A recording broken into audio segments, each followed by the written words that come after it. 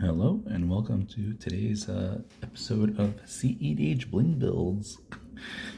Uh, today's deck is going to feature uh, another personal favorite of mine, uh, Circu, the Dimir Lobotomist. Ooh, ooh.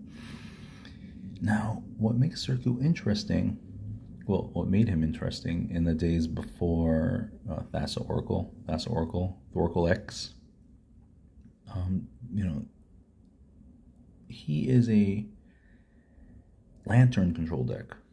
Now I know uh, in modern you have lantern control, and I think in legacy to some degree lantern control, and you know everyone who commentates on lantern control, everyone who um, runs lantern control, or they make it seem like it's this uh, insanely difficult deck to pilot, which takes a mastery of the game, and deep understanding of uh, you know uh, your opponent. And and yada yada yada all the ego boosters right? And yeah that's true. Uh, it's absolutely true. And so um, what makes Circu the uh, general for a, a, lantern control deck is his ability right? His uh, passive ability where uh, one, I'm not going to read it twice, but whenever you play a blue or black spell, uh, remove the top card of target library from the game. So if you could play at instant speed and you have knowledge of what's on top of your opponent's library, boom, that shit, it's gone. But his second passive, well, his third passive, uh, your opponents can't play non-land cards with the same name as a card removed from the game with your boy Circu the Dimir Lobotomist. That is fucking huge in this homogenous meta, right? if I uh, get the opportunity to remove, uh, or Circu gets the opportunity to banish an opponent's ad guess what, ladies and gentlemen? No one, none of my opponents will be playing ad nauseam. And so that's what makes Circu really, really good uh, in a stale, homogenous metagame. If you're playing your uh, casual friends who run, uh, who have average CMC of uh, 25, uh, Dimir is not going to work. But in your sweaty pods, Dimir puts in so much work. What makes uh, this lantern deck different from uh, like a modern lantern deck. There's no ensnaring bridge in this deck. I used to own an ensnaring bridge, but I sold it, and I, I felt like it's not 100% necessary uh, in this deck. And of course, the general, right? Um, also, there are no um, no Thoughtseize uh, uh, type of cards in this deck. I, I might run them. Right? I just don't think they're that important in like a C, uh, in EDH. But uh, nonetheless, let's get into it. So you have Circu. Oh, and uh, if you follow these videos, you'll notice that I um, triple sleeved the uh, the deck. Just try it out. I know, I know, I talked all that shit about triple sleeving, but I, I did it anyway. Whatever, forgive me. Uh, Lantern of Insight, uh, one drop artifact, does a lot. Each player plays with top card of their library revealed. And that's that's the namesake of the deck, right? That's what this deck is all about. Knowledge. Um and there are a whole bunch of like these lantern-esque cards. Another one, Field of Dreams, on the reserve list, so it might not be uh, easy to casually run this. You could just proxy it up. I don't. It's not my business. Uh, oh, I should have uh, studied these names, right? Fixus? Fixus of Pandemonium? Uh, another lantern type ability. You know, if I don't like what's on top, you, you get rid of it. Ghoulcaller's Bell, same thing. I don't like what's on top. Bye-bye. Uh, Codex Shredder. And of course, Codex Shredder, Shredder uh, is another uh, artifact that has uh, big, big time, big time synergy with uh, uh, Dramatic Scepter combo. All right, you just um, mill everybody. Oh, and that's a win con of this deck. Your Dramatic Scepter. Uh, that's a win con for a lot of decks, but with him in the command zone, you just dramatic scepter everyone. You're gonna exile everyone's deck because it's still a blue uh, dramatic reversal. Codex Shredder, and there we go. Isochron Scepter two, dramatic reversal. Um, and a top.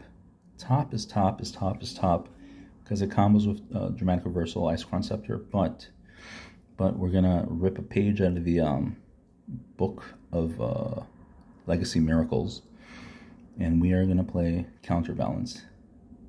Counterbalance top, mm, mm, very juicy. And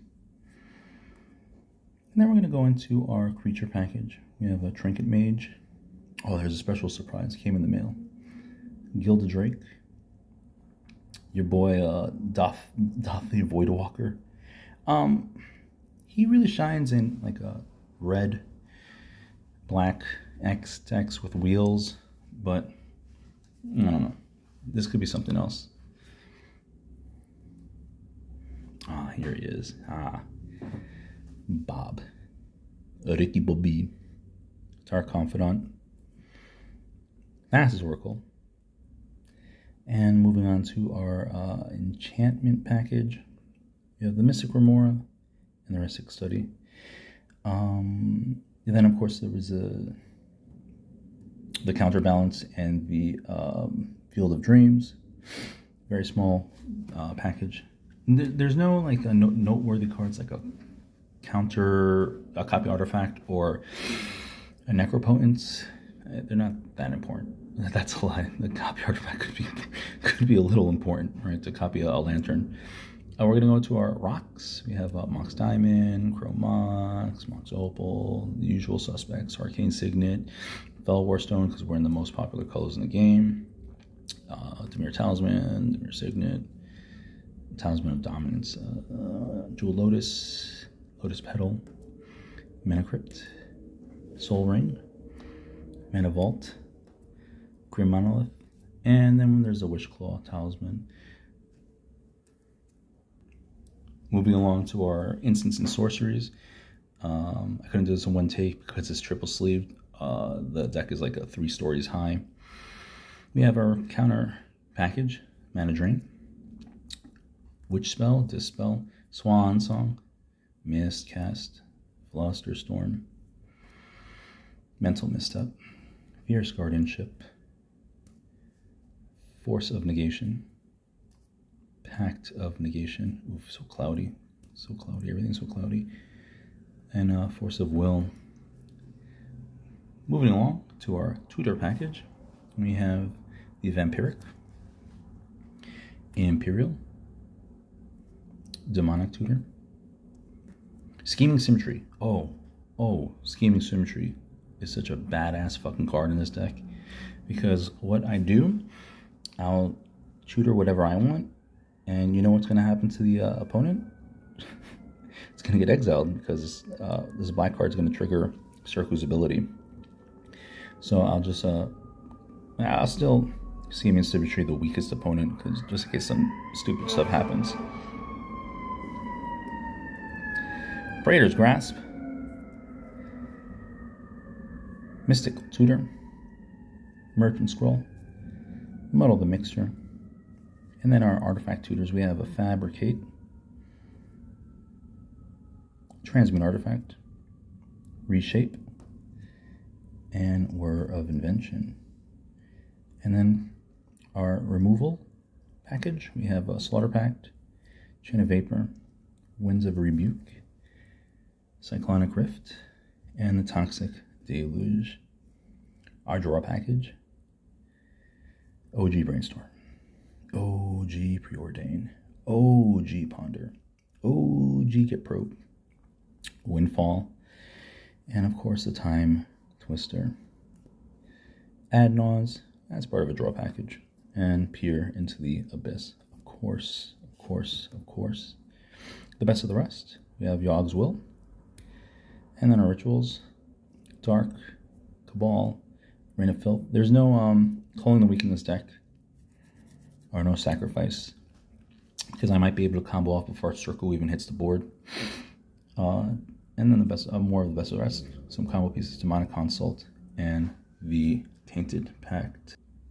And then wrapping things up with our lands. Nothing out of the ordinary. Uh, I did want to mess around with the uh, Urza Saga. I don't own Urza Saga. I think it's a little too slow, but it is free tutoring, and it is free tutoring for things I would want uh, to, to tutor for in this deck. So I'll, I'll, proxy, I'll proxy it up for, for a moment, right? Little index card or something, just to try it out. So I don't know if it's going to be part of my 28 land package or as like a, uh, somewhere else, right? I don't know how to count Urza Saga, but somewhere there should be an Urza Saga in this deck, I think. I'm not too sure. I'm not 100% sold on it. We have our fetches. Our, what is this? Our seven fetches.